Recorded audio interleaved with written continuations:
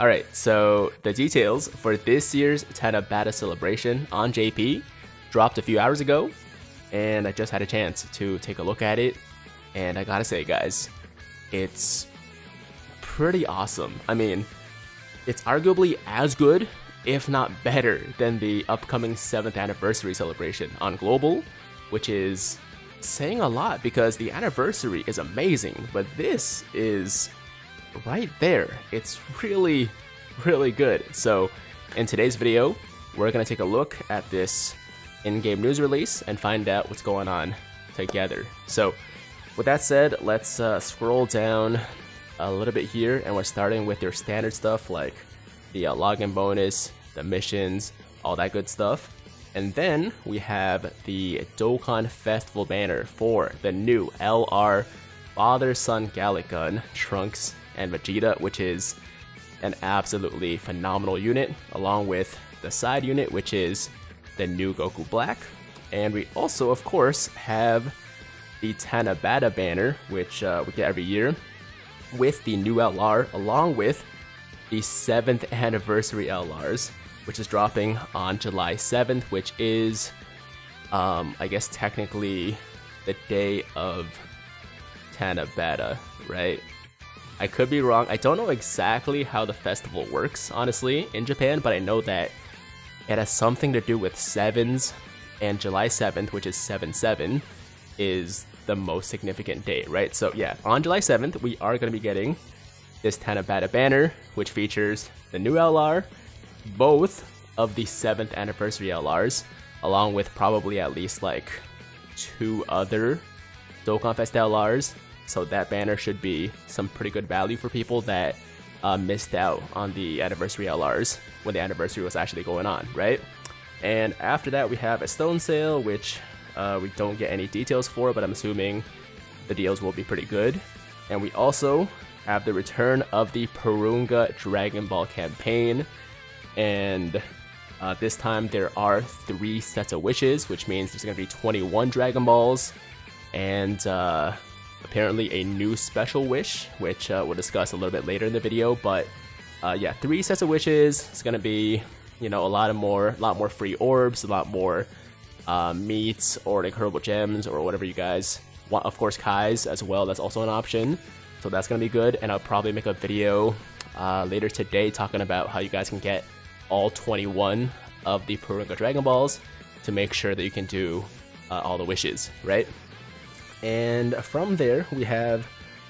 Uh, I think this is a new event.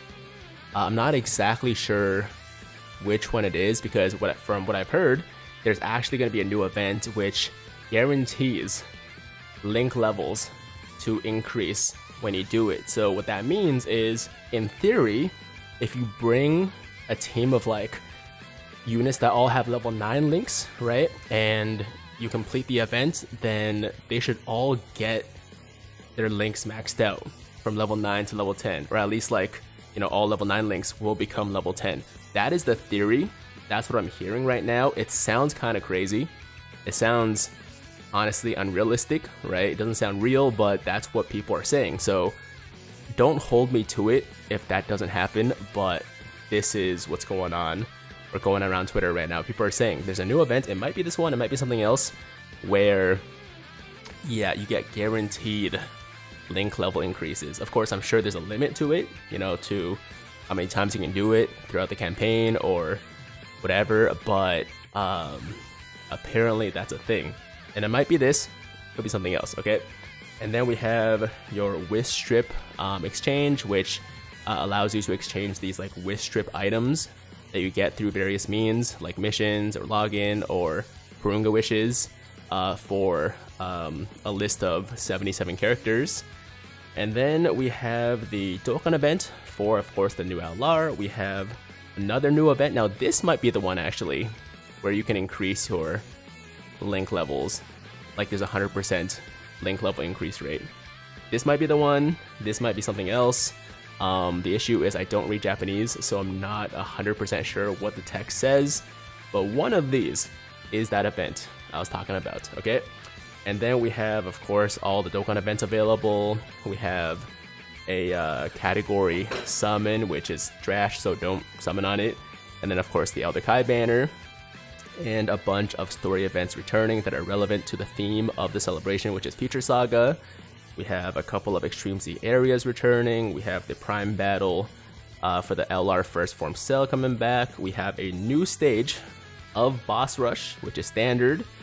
We have a new stage of Infinite Dragon Ball History, a new stage or new stages for Super Battle Road, a new uh, Battlefield or Ultimate Clash, um, a new ex what's it called again?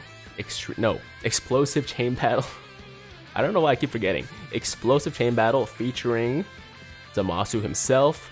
And then we have the renewal of the strike event for King Vegeta with his Dokkan Awakening, and I'm assuming Extreme Z Awakening as well. That's pretty exciting. A viable King Vegeta in the game. Not something we've had ever, right? And now for the most exciting thing to me. This is definitely by far the most exciting part. Extreme Z Awakenings for TEQ, Vegito Blue, STR Rose on the 7th, and then a week later on the 14th, Extreme Z Awakening for LR Trunks. And my no EZA for Rose and Zamasu, I gotta say, slightly disappointing. Slightly disappointing. I was hoping for these two guys, of course, that was my number one choice. And then number two, for an LR Extreme Z Awakening, I would have preferred uh, Rose and Zamasu. That doesn't mean it's not coming. It might be coming for part two, but uh, these three getting Extreme Z Awakenings, especially these two, man, like, that's all I wanted. That, that's honestly all I wanted from the celebration. So that's amazing. That's cool too. Hopefully Rose and Zamasu in a separate, uh, in a second part, right? And then we have the, uh, I believe, banner for the Vegito and Rose. We have the banner for the LR Trunks and Mai. We have a new stage for uh, Extreme Super Battle Road. Of course, a new Peton Battle. And that does it for now. So, if you just look at the sheer amount of events, the sheer amount of content that's coming for just this one part of the uh, Tanabata celebration, I mean, it really rivals uh, part one of the seventh anniversary. I think maybe maybe the anniversary has a little bit more, but it's it's close, man.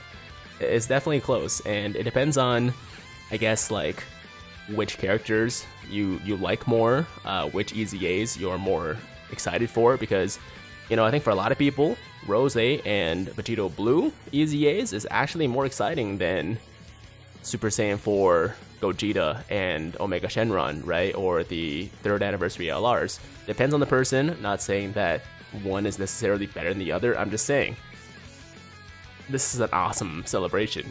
and um, I was talking to Proton about this. I was like, yo, it makes sense that like Tanabata is this good because, you know, Global's getting hype stuff now and they can't make JP players feel like they're missing out, right? Or make them feel like they're not as hype, right? So it's got to be at least equal. And I think they accomplished that with the celebration. I think at the very least, it's a comparable celebration to uh, the anniversary. And you could argue that it might be even better. I mean, let me know in the, in the comments what your opinions are about that. Um, I haven't really made up my mind. I'm definitely excited, super, super excited for the global anniversary. Don't get me wrong, but uh, this one is it's great. I think I think mostly what's what's getting me like really hyped here is the Vegito Blue and Rose. I mean that's something I've wanted forever. That's something I know a lot of you guys have wanted forever, and I can't wait to see what they do, man. I just the details um, are gonna drop in a couple days, but it couldn't come sooner because I just hope they, they, they do it right. I hope they do it right. I hope they don't mess up, especially Vegito Blue. Um, I have confidence they're both going to be very good, but uh, we'll find out for sure in a couple days. So there you go, guys. That is the video. That is this year's Tanabata celebration on JP. Leave your opinions in the comments. And uh, as always, if you liked the video, then make sure to like the damn video.